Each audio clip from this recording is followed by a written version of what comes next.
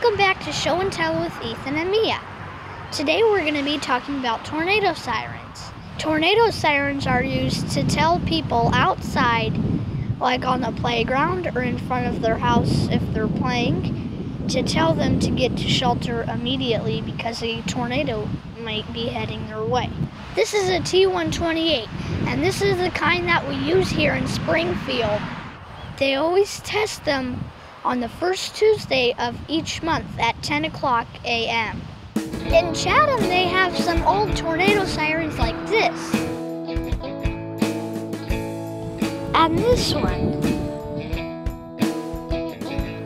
We're in Williamsville and they have three federal signal tornado sirens, and this is one of them. Here's another federal signal in Williamsville.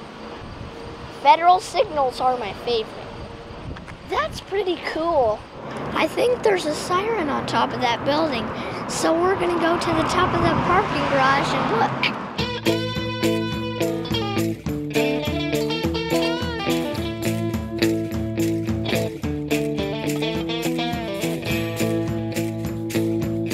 And that is a T-128. Whenever there's a tornado, they make it go off, and everybody in downtown can hear it. That's it. See you next time on Show and Tell.